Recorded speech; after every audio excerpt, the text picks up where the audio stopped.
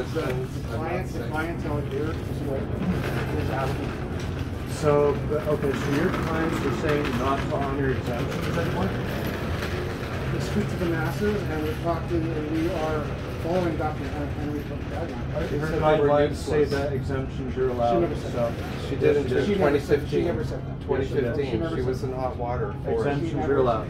So you're gonna get a Canadian Human Rights Tribunal filing if you remove us from here. Let's go see your go supervisor right now. I get to do my shopping. Oh, no, let's come to the front of the store. Oh, yeah, yeah, let's do this. I'll meet at the front desk. Yeah.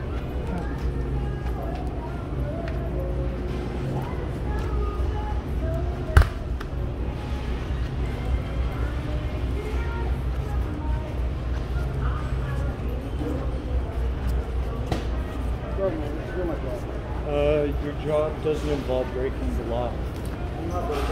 Yes, you are. You're violating my constitutional rights. No, you're not. No, you're not.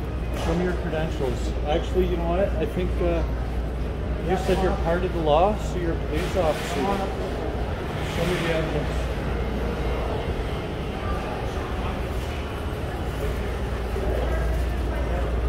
You have to wear a mask, sir, if you want I'm exempt. Your?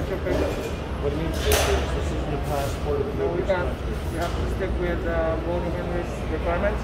Uh, Bonnie Henry never said that papers are required. This No, isn't he Nazi said this. Germany. He said this. If you go shopping in a public place, you have to wear a mask. Uh, he said. but she never said that exemptions were null and void. No, we can't.